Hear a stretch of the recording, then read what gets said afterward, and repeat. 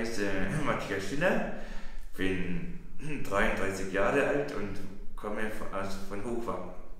Arbeite in Krumbach in einer Werkstatt, das gehört zum Dominikus Zigarettenwerk, Uschberg, und im Reitstall, also arbeite ich auch noch. Also ich habe zwei Jobs. Ich hatte auch eine Krebserkrankung vor 10, 11 Jahren oder was. Und, und das, also das Aufstehen war halt für mich schon schwierig. Nachts früh aufstehen und dann, ja, da hatte ich halt ein bisschen meine Probleme.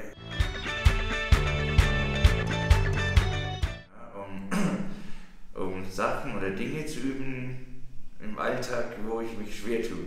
Wie zum Beispiel einkaufen gehen haben wir angesprochen. Oder Smalltalk haben wir schon mal gemacht. Ich habe ja die Diagnose Asperger-Autismus und die ist ja also weniger, also, also ich kann mich selber noch versorgen ohne Hilfe. Das Autismus selber ist ja anscheinend noch schlimmer, habe ich gehört. Also wenn ich jetzt zu Hause denke, ähm, man muss ja manchmal in Behörden oder so irgendwas erledigen, wo, wo ich mich jetzt da vielleicht weniger auskenne. Mhm. Dafür brauche ich dann wieder meine Mutter zur Unterstützung oder als Hilfe. Oder wie hier jetzt einkaufen gehen üben oder Smalltalk, solche Sachen. ja, das ist dann, äh, ja, da habe ich ein bisschen Probleme, vor allem dann, ich bin ja nicht gerade der Typ, der wo jetzt auf Menschen zugeht und und die anspricht. Und vor allem, was sage ich und wie spreche ich dich jetzt an oder über was können wir zum Beispiel reden? Ja, es hat sich einiges verändert, weil am Anfang war ich sehr geschlossen, kann man sagen, und jetzt habe ich mich mehr auch den Leuten auch geöffnet, weil wir also das Üben vom SKT und auch Smalltalk und Einkaufen gehen, alles was wir schon geübt haben, finde ich, ist auf jeden Fall schon besser geworden. Hm, vielleicht mal ausziehen von zu Hause. Also das, wenn ich da mal dran denke, mit Miete und alles und ich habe ja Auto auch noch zu walten, also da muss man schon überlegen, da braucht man ja Geld für auch noch was für sich, zu Kleidung, Essen oder was zu trinken. Und da ich dann schon ein bisschen wieder hin. Reicht das Geld? Kann ich mit dem Geld äh, ja, umgehen?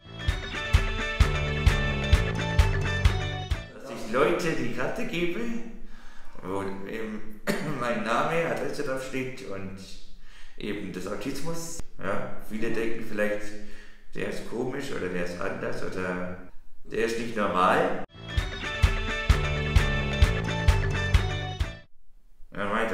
Da war halt so, so ein Parkplatz neben dem Friedhof oder was war da?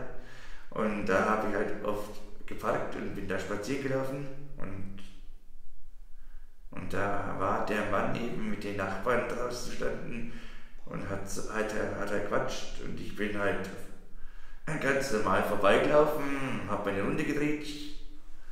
Und als ich dann wiederkam, hat der Mann mich dann angesprochen, was, was da los ist, was das soll. Ich, ich sei so auffallend und hätte die Leute beobachtet und ich würde in ihre Holz einbrechen.